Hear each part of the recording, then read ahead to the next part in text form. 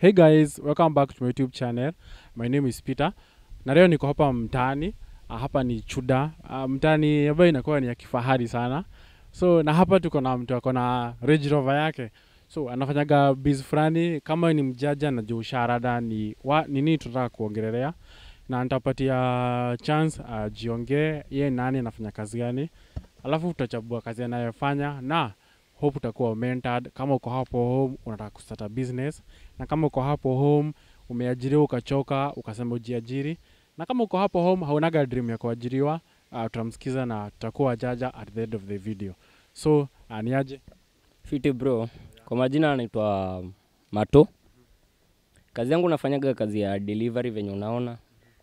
Mm, tumeshika Mombasa, tumeshika Lamu pia, na ni kazi poa tu. Na nikuulize umeifanya kwa muda mgani? Hii kazi nimefanya kwa mwaka mmoja sahii, lakini tuseme ni mwaka mmoja na nusu, maanake nilifanya nikiwa shule kidogo.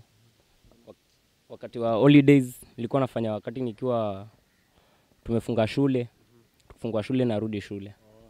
Na wakati umeifanya ukuwa shule haya, na wakati umeifanya ukuwa nje ya shule, nini time gani ilikuwa poa kuifanya?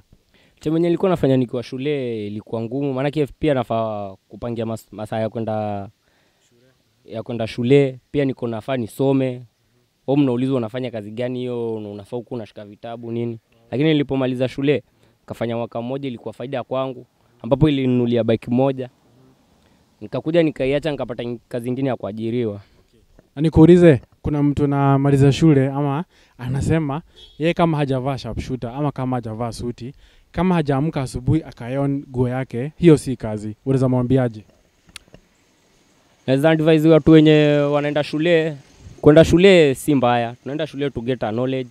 Ukitoka hapa nje unatumia akili yako. Kuna vitu zingine si lazima ati uvae suti ndio uomoke. Ya matajiri wengi tunaona huku Kenya, si ati wote wamevitia kuvaa suti. Tunaona kama wa president tuna anatuambia alikuwa analia kuku, alianza chini. Hii kazi kupata customer inakuwa rahisi ama ni kitu ngumu? Ni ngumu, si rahisi.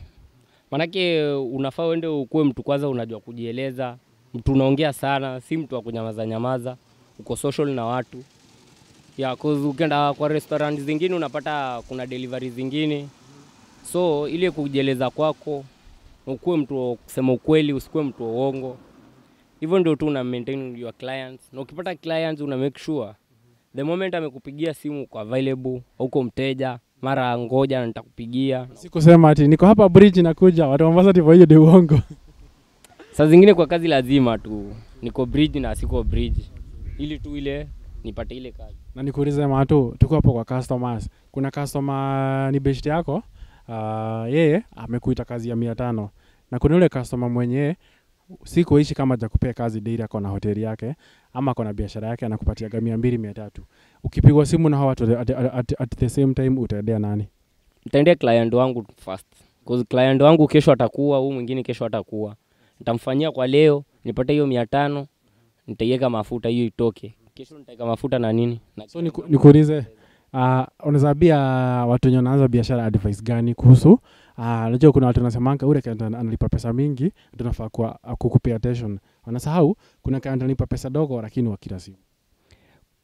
mm, client wa kila siku ni very important cause kesho yuko kesho kutwa yuko lakini wa leo anakupea mia tano leo umwoni kesho unamwona after one month sasa after one month utakuwa unafanya kazi gani utakuwa tu huko ukingoja simu yake Na nikuulize hii kazi ya delivery imekuwa na charges, na, na, na, na charges gani uh, regardless to maybe traffic police kukusumbua, pengine umechelewa, pengine kuna jam, ni kitu gani usha experience uh, kwa hii delivery? Pengine ulitransport kitu kikaharibika ama kitu ikavujika.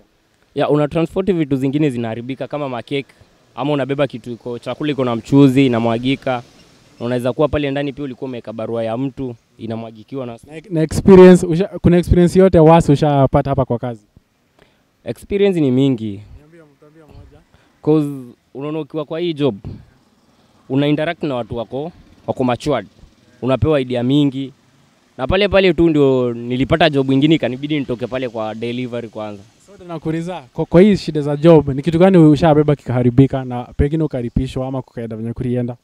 Mm, shibeba cake ambapo ilikuwa ni keki ya 3k nikapeleka place inaitwa Mtwapa, ambapo sasa sitaki kupoteza client wangu, ikabidi nimelipa cake 300 na nikapoteza pesa yenye nilikuwa nafanyia delivery. Ni 300 man 3k 3k 3k alafu sasa delivery ilikuwa ni 6 so ikabidi hiyo imepoteza hivyo hivyo. 6 ikaenda.